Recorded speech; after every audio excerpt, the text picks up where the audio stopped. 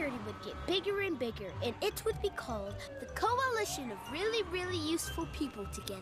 First order of business, expanding the charity so we can help as many people as possible. So, how much money have we raised? Well, the TV campaign raised over $3 million. Hooray! So, after paying for the offices, the media budget, and the salaries for our advisors, we're left with $12.30 to spend on actual charitable deeds. oh, sorry, $5.29. Jeff bought donuts.